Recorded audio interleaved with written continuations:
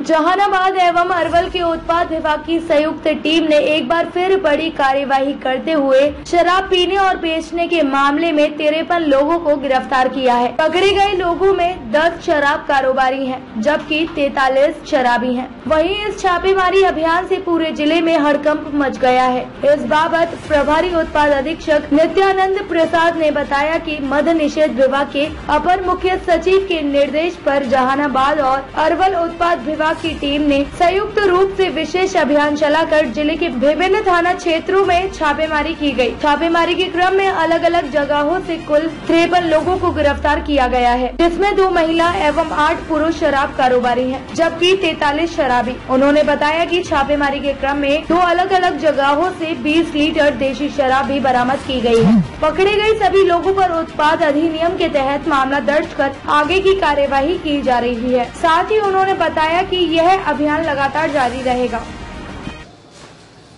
ऐसे हम लोग अपर मुख्य सचिव महोदय के निर्देशानुसार दिनांक एक, दस, बाईस को विशेष छापामारी अभियान अरवल जिला के सहयोग से चलाया, जिसमें कुल तिरपन गिरफ्तारी की गई, जिसमें दस शराब बेचने वाले हैं, दस में दो महिला भी हैं शराब बेचने वाली, और फोर्टी थ्री शराब का सेवन किए हुए व्यक्तियों को गिरफ़्तार किया गया है।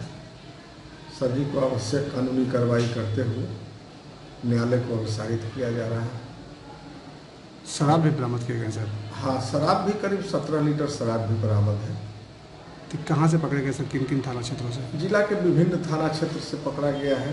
कोई स्पेसिफिक एक थाना से तो है नहीं। मोस्टली करीब करीब सभी थाना क्षेत्र से है। गाड़ी तो सभी जगह गई है। कुल टोटल कितने हो गए सर? तिरपन हो गए। तिरपन। ठीक सर क्या नाम हुआ सर? मेरा नाम नित्यानंद।